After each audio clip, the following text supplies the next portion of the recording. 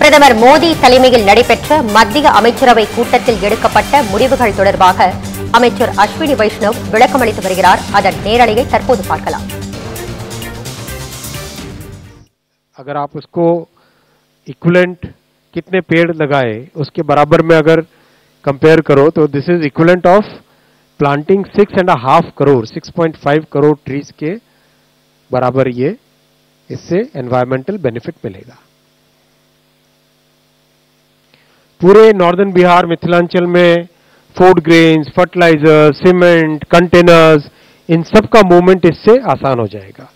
और एक बहुत बड़ा जो बेनिफिट मिलेगा मिथिलांचल को, वो मिलेगा कि जो ईस्टर्न कोस्ट पे ये सारे के सारे जो पोर्ट्स हैं वाइजैग से लेके Paradip Haldia Kolkata port Dhamra port Gopalpur port इन सब, यहाँ पे नीचे और थोड़ा सा जाओ तो काकीनाडा पोर्ट, इन सब पोर्ट्स के लिए एक डायरेक्ट कनेक्टिविटी मिल जाएगी मिथिलांचल को। यानी मिथिलांचल में कोई इंडस्ट्री अगर आना चाहे अब तो उनके लिए एक पोर्ट कनेक्टिविटी का बड़ा बेनिफिट मिलेगा।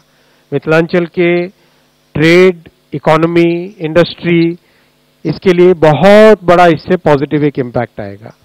आपको ध्यान होगा, पिछले दो तीन कैबिनेट पहले एक कई सारे जो मिसिंग लिंक्स थे, उड़ीसा, झारखंड, बिहार को कनेक्ट करने वाले और वेस्ट बंगाल को कनेक्ट करने वाले कई जो मिसिंग लिंक्स है, वो सारे एक एक करके अप्रूव हुए थे।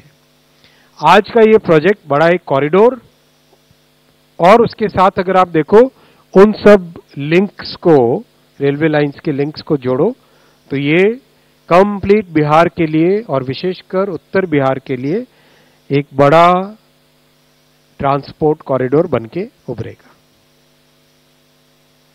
साथियों, मैं आज के तीसरे बड़े फैसले पर आता हूँ। आप सब जानते हैं कि 10 वर्षों में प्रधानमंत्री श्री नरेंद्र मोदी जी ने भारत की जो इनोवेशन इकोनॉमी है स्टार्टअप इकोनॉमी है, उसको एक अलग नया आयाम दिया, एक नया ट्रांसफॉर्मेशन किया, एक टोटली नए डायरेक्शन पे लेके गए। जहाँ 10 साल पहले 300-400 स्टार्टअप होते थे, आज एक लाख बीस हज़ार से ज़्यादा स्टार्टअप्स हैं हमारे पास। जहाँ यूनिकॉर्न भारत में कुछ गिनती के थे, वहाँ आज सौ से ज़्यादा यूनिकॉर्न है। और ये बड़े एक समृद्ध कॉन्टिनेंट के समृद्ध राष्ट्रों से भी ज़्यादा यूनिकॉर्न भारत में है आज। मैं नाम नहीं लूँगा लेकिन कई जो रिच कंट्रीज़ अगर हम यूरोप की देखें, उन रिच कंट्रीज़ में जितने यूनिकॉर्न है उनसे ज़्यादा आज भारत में यूनिकॉर्न्स है। ये 10 वर्षों का स्टार्टअप इकोसिस्टम को डेवलप करने का एक बड़ा अचीवमेंट है। और स्पेस जैसे सेक्टर में, जिस सेक्टर की बहुत ज़बरदस्त ग्रोथ होने वाली है, जो एक बहुत इंपॉर्टेंट स्ट्रैटेजिक सेक्टर है, और जिस सेक्टर में इनोवेशन बहुत बड़ी मात्रा में होने वाला है, उस सेक्टर को प्रधानमंत्री जी ने एक ऐतिहासिक फैसले से 2020 में सभी इनोवेटर्स के लिए खोला था स्टार्टअप्स के लिए खोला था तो आज एक बड़ा महत्वपूर्ण फैसला लिया गया है एक हजार करोड़ रुपए का वेंचर कैपिटल फंड सेटअप किया जाएगा स्पेस सेक्टर के लिए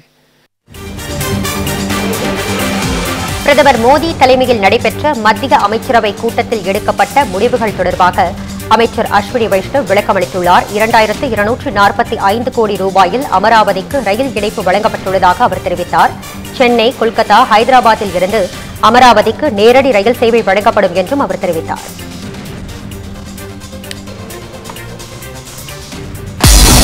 செய்திகளை உடனுக்குடன் தெரிந்து கொள்ள தமிழ் ஜனம் யூடியூப் பக்கத்தை சப்ஸ்கிரைப் செய்யுங்கள்.